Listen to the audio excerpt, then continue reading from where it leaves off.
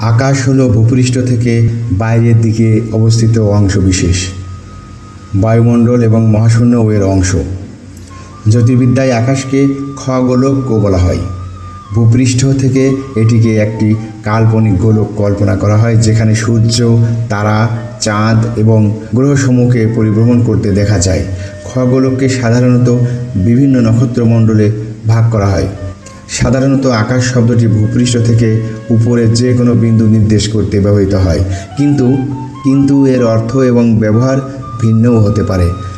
যেমন, আবহাওয়ার ক্ষেত্রে আকাশ বলতে কেবলমাত্র বায়ুমণ্ডলের নিচের দিকের অধিক ঘন অংশকে বোঝায়। সুপ্রিয় ভিউয়ার, শেষ পর্যন্ত সাথে থাকবেন। খুবই তথ্যবহুল এবং চমকপ্রদ তথ্য নিয়ে ভিডিওটি বানানো শুধু আপনাদের জন্য। আমি আবার বলে রাখি, আমরা গতানুগত নতুন নতুন ভিডিও বানাই। তথ্যবহুল ভিডিও যেটা আপনি আপনার সোশ্যাল মিডিয়াতে শেয়ার করতে পারবেন, সবার মধ্যে শেয়ার করতে পারবেন। সবার জন্য শিক্ষণীয় একটি ভিডিও তো তেমনই আজ একটি ভিডিও সাথে থাকবেন শেষ পর্যন্ত। মহান আল্লাহ তালার অজস্র সৃষ্টির মধ্যে এ এক রহস্যময় সৃষ্টি। আকাশের দিকে তাকিয়ে থাকার মুগ্ধতাই অন্যরকম। মানব জীবনের যত দুঃখ, কষ্ট, জরাজীর্ণ যাই থাকুক না কেন, আকাশের দিকে এক পলক তাকালে অধরা, এই আকাশে যেন সব দুঃখকে বুকে টেনে নিয়ে উজ্জাড় করে দেয় পরম মমতা। মেয়াময় অদৃশ্য, হাতে মুছে দেয় কষ্টের গ্লানি। আচ্ছা কখনো ভাবছেন আকাশ নীল দেখায় কেন, সাদা দেখায় কেন? এসব প্রশ্নও হয়তো কখনো কখনো আপনাদের মনে জাগে। তা নিয়ে বলছি, আলোর বিক্ষেপণের কারণে আকাশ নীল দেখায়। কোনো কণিকার উপর আলো পড়লে সেই কণিকা আলোকে বিভিন্ন দিকে ছড়িয়ে দেয়, যাকে আলোর বিক্ষেপণ বলে। যে আলোর তরঙ্গ দৈর্ঘ্য যত কম, সেই আলোর বিক্ষেপণ তত বেশি। আলোর বিক্ষেপণের তরঙ্গ দৈর্ঘ্যের চতুর্ঘাতের ব্যস্তানুপাতিক নীল আলোর তরঙ্গ দৈর্ঘ্য সবচেয়ে কম, তাই আকাশে এই আলোর বিক্ষেপণ বেশি হয় এবং আকাশ নীল দেখায়। মেঘের অণু বেশ বড় হয় এবং তাই তা নীল ছাড়া অন্য আলোকেও বিক্ষেপিত করে, যার ফলে মেঘের বর্ণ অনেকটা সাদাটে হয়। এই কারণে সূর্যোদয় ও সূর্য অস্তকালীন সময় আকাশ লাল দেখায়। এ সময় সূর্য দিগন্ত রেখার কাছে অবস্থান করে তাই সূর্যরশ্মি পৃথিবীতে আসতে পুরো বায়ুমণ্ডল ভেদ করে। তখন নীল আলো বিক্ষেপিত হয়ে বিভিন্ন দিকে চলে যায়। কিন্তু লাল আলোর তরঙ্গ দৈর্ঘ্য বেশি হওয়ায় তা কম বিক্ষেপিত হয় এবং পৃথিবীতে আসে তাই তখন আকাশ লাল দেখায়। আকাশ মানেই মেঘের অবাধ বিচরণ। শুধু মেঘ আর মেঘ পাল তোলা নৌকার মতো আকাশ দাপিয়ে বেড়ানো এই মেঘমেলা এনে দেয় স্বস্তির আবেশ। আকাশের প্রকৃত রূপ সৌন্দর্য ফুটে ওঠে সন্ধ্যালগ্নে। সন্ধ্যায় অন্তগামী সূর্যের সাত রং পশ্চিম আকাশে ছড়িয়ে পড়ে যে মহনীয় সৌন্দর্য ফুটে ওঠে, সে সৌন্দর্যের যথাযথ বর্ণনা করে এমন সাধ্য আছে কার?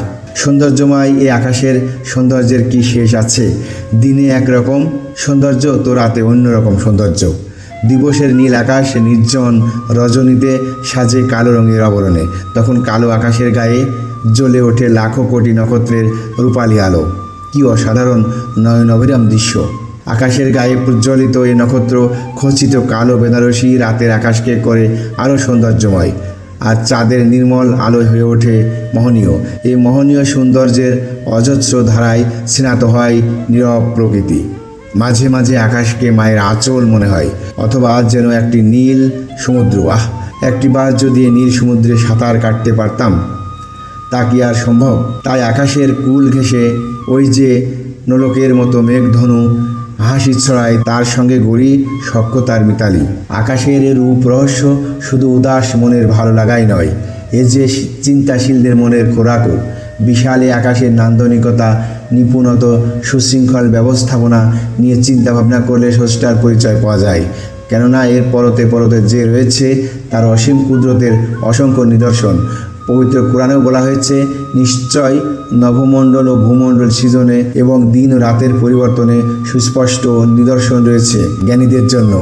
যারা দাঁড়িয়ে, বসে, শুয়ে আল্লাহ জিকির করে এবং নবমণ্ডল ও ভূমণ্ডল নিয়ে চিন্তা ভাবনা করে, তার স্বতঃস্ফূর্তভাবে স্বীকার করতে বাধ্য হয়, হে আমার প্রতিপালক, আপনি এগুলো বৃথা সৃষ্টি করেননি। আপনি পবিত্রময় সুরা আল ইমরান। সুপ্রিয় বিভাগ চমকপ্রদ তথ্য সামনে আছে। আচ্ছা ভিডিওটি কেমন লাগছে? একটা কমেন্টস করবেন। ভালো লাগলে একটি লাইক দিবেন। আমরা কত সময় অযথা নষ্ট করি, অথচ একটু সময় করে আল্লাহ তালার এ সুনিপুণ আকাশ নিয়ে ভাবি না। তাই তো, আল্লাহ তালা বলেন, আমি আকাশকে সুরক্ষিত ছাদ করেছি, অথচ তারা আমার আকাশের নিদর্শনাবলী থেকে মুখ ফিরিয়ে রাখে। সুরা আম্বিয়া এক বত্রিশ। আমাদের কি উচিত নয় এই নভমণ্ডল ও ভূমণ্ডলের সৃষ্টিকে নিয়ে ভাবা যে মহান স্রষ্টা আমাদের মাথার উপর আকাশকে ছাদ রূপে সৃষ্টি করেছেন, সে মহানের কৃতজ্ঞতা জ্ঞাপন করা। আসুন, যে আকাশে মহান আল্লাহর প্রত্যেক রাতে শেষ ভাগে হাজির হয়ে বান্দাকে ডাকেন, সেই আকাশের মালিকের ডাকে সাড়া দিই সুপ্রিয় ভিউয়ার, আজ এ পর্যন্ত সবাই ভালো থাকবেন, সুস্থ থাকবেন।